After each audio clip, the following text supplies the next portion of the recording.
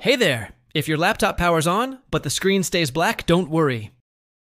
Here are three quick fixes that might solve the issue. Fix 1 Drain static power. Works for 50% of cases. Shut down the laptop. Unplug the charger. And if your battery is removable, take that out too. Now, press and hold the power button. Hold it for 30 seconds. Still not working? Try again this time for one minute. Still nothing? Hold it for two full minutes. Now plug in the charger and press the power button. This method works for about 50% of cases. Why this works, it clears leftover static energy that may be blocking the display. Fix 2 Core RAM Stick Reset, 20% success rate.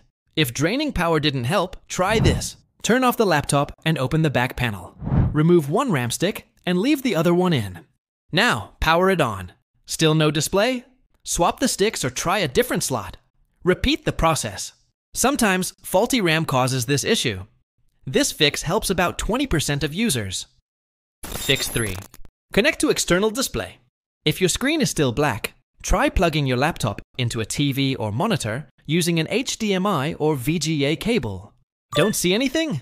You might need to press a function key like F4, F8, or F10 to switch the screen. If the external screen works, your laptop display's backlight or inverter might be the issue. Those can be replaced. Check YouTube for repair tutorials. One of these should get your display working again. Still stuck? Drop a comment below and don't forget to like and subscribe.